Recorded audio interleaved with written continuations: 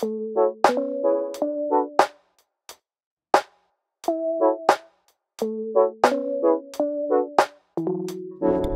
I'm here in Chino, California at Manley Laboratories. Thank you so much for inviting us in here. Cheers. Showing us around. You have some awesome facilities here. All of your stuff is made here, and I really respect that. Yeah, thank you. Made here in Southern California.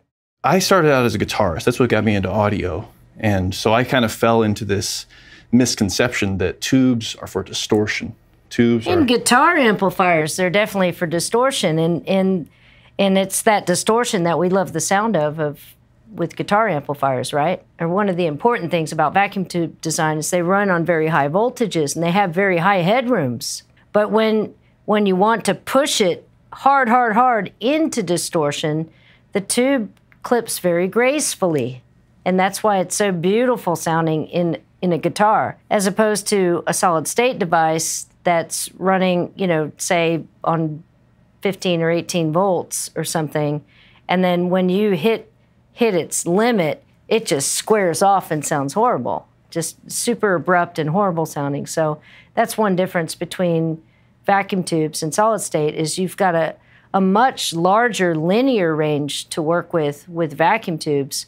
And then when you do push it to the limit, it's going to distort very gracefully and very, very gradually. as I've started to learn more about pro audio equipment, specifically your stuff, it's not always for that extreme saturation why you'd use a tube. Can you talk about why you use tubes in your gear? say say we're talking about a big power amplifier and we we had some we had dynamic range that wasn't all killed off by the world's compressors and limiters you know and and you have some very quick transients like like the strike of a piano. You know if you've got all the signal is mainly like this and then you have this big spiky transient because you have all that headroom it's not gonna you're not gonna hit that piano and it goes you know like if you hit a digital over in your a to d you know about it. Yeah. it's either good sound or completely not usable right? Imagine if your a to d if you could push the limits like that and you kind of sort of wouldn't really hear it. That's what we're talking about with vacuum tubes. Take the Manley variable mu right? You know you can purposefully overdrive the input to get a little bit crunchier sound, not not crunchy, just kind of fuller, thicker sound as a color choice, right?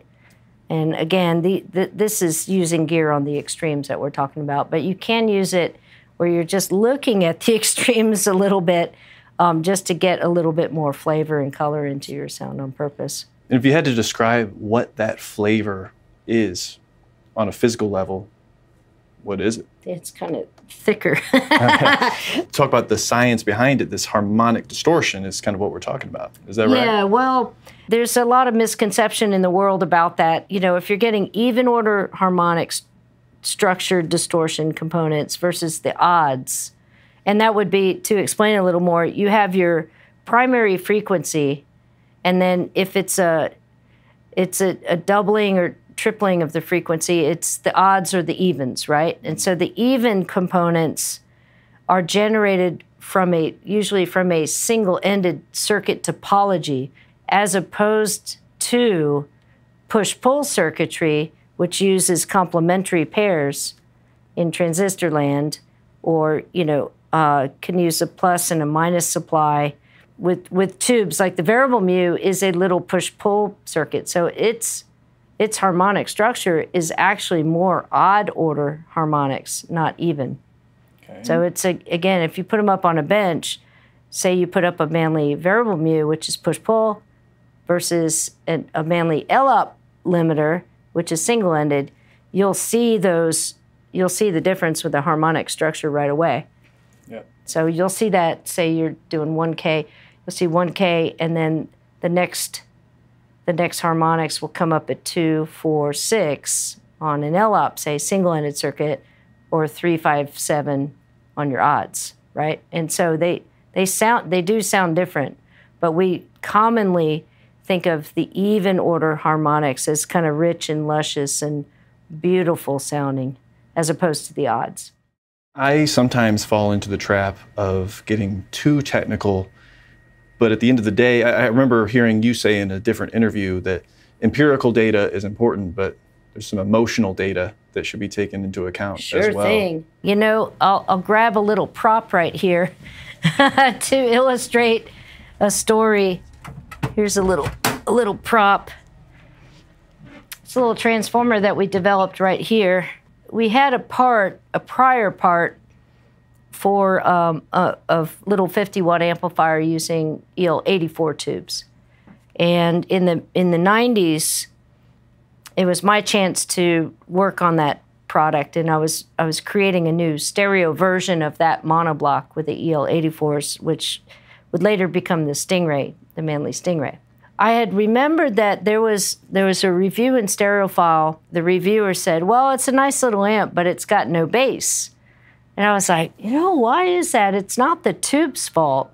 The vacuum tubes give you all the frequencies. You know, the limitations come from other areas, and especially through the transformer. So I said, let's look at that output transformer a little more. I mean, it is kind of small, isn't it? You know, physically kind of small. We measured what we had, and we measured the prior transformer we were using from an outside vendor, and, you know, got a handle on its measurements. And tonally, I knew what it sounded like from listening to it.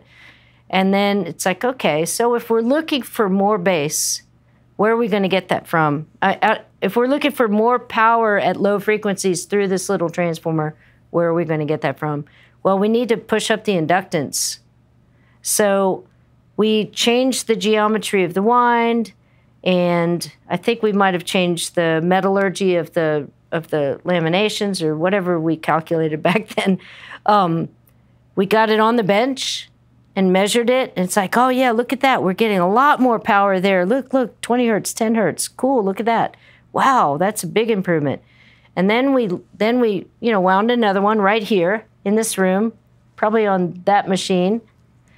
And took the pair downstairs, put them in the amplifiers, put them on big knife switches or whatever, and listened to one versus the other.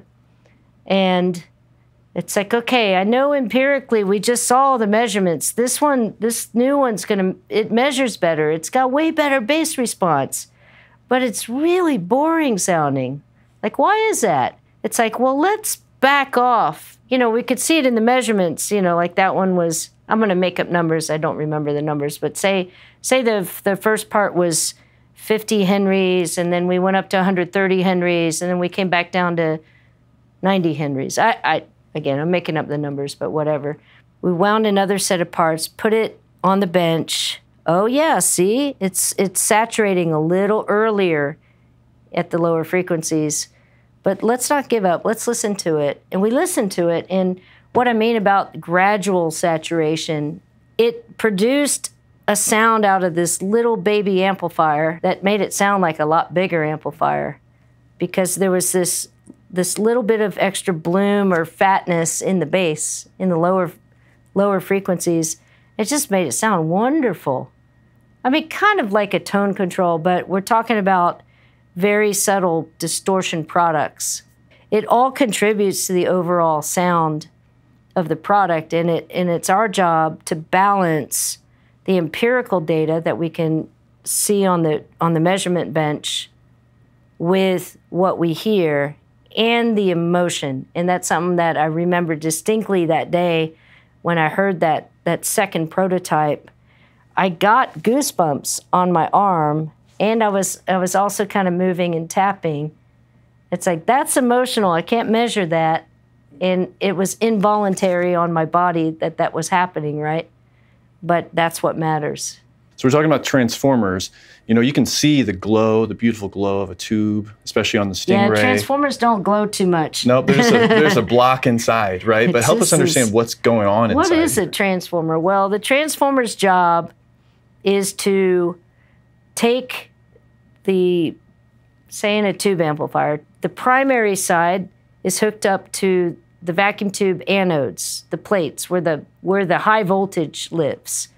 And its job is to take the signal from that point and it and it might be working the impedance it, it's kind of it's kind of like resistance but it's got other factors involved but we call it impedance the impedance level, maybe you're working at, I'll just make up a number like 4,000 ohms or something. And then the transformer has to transform, has to take that 4,000 ohms and reduce it to, say, 8 ohms for your speaker or 5 ohms or whatever. So it has to transform that impedance down from thousands of ohms to something your speaker can deal with. And in, at the same time, it's going to not allow any of that the DC voltages to get through it. That's its other big job. Is DC cannot pass through here. And why is that? There's no physical link between the primary and the secondary. Whatever's happening on the primary side of the transformer is inducing a change in the in the secondary. So there's no there's no physical path for that DC voltage to go through in plain terms. So that that's the transformer's job. So uh, DC will not pass through it, and it's transforming the the working voltages or impedances or whatever from the primary to the second. Whatever happens on the on the front end is going to happen on the back end, in proportion to how many turns are on the primary side and how many turns are on the secondary side. And the ratio between that is called the turns ratio of the transformer. And so th- that's very, very simple introduction to transformers. You so, got to start simple. This was then built right here in this room. But yeah, we've used these same machines uh, to wind to wind all of all of the transformers since the mid '90s when we set this room up. Nice. Yeah. I know some people watching this are hearing transformers. They, have heard of that before. They're not really sure what it is, and they're hearing winds, turns. They're talking about turns of, well, of wire. Can we show this yeah, machine? Yeah, let's, cool. let's look over here. Here's a machine. These Adams Maxwell machines are made in Southern California. You know, why do we wind them here in California? Well, the, to have the consistency of production. Like this is the very same machine that's wound all these transformers over the last almost 30 years, right? What we do is we've got a, a piece of paper with its winding diagram. How, this, this transformer is very simple and it you know declares 750 turns of whatever gauge wire that is and they load it up onto this tensioner and bobbin here and they pull the wire on onto the bobbin. You it's going to attach the first winding it's going to start at pin 1 and end at pin 5 there you go. And then they will uh, program the number of turns. They'll program the pitch, which is how fast it's going back and forth, and they'll set the limit, you know, from whatever that is, zero to five eighths of an inch or whatever. They'll set that with these knobs here.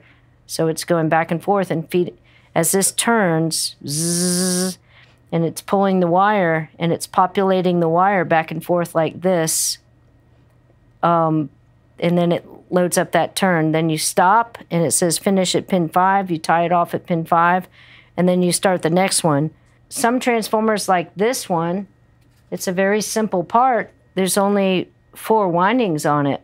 Other transformers, we might have 19 windings on that are they're a lot more complicated. Um, this is just a one-to-one transformer that's used for line level in a Manley Vox box, for instance, and it's its job is to give you, it's not needing to remove any DC voltages off the primary. Its job is to take the output of the tube circuit, pass that through to an XLR connector in a balanced form. That's its job. So we took a single ended signal from the output of the Vox box and gave you a balanced output through a transformer.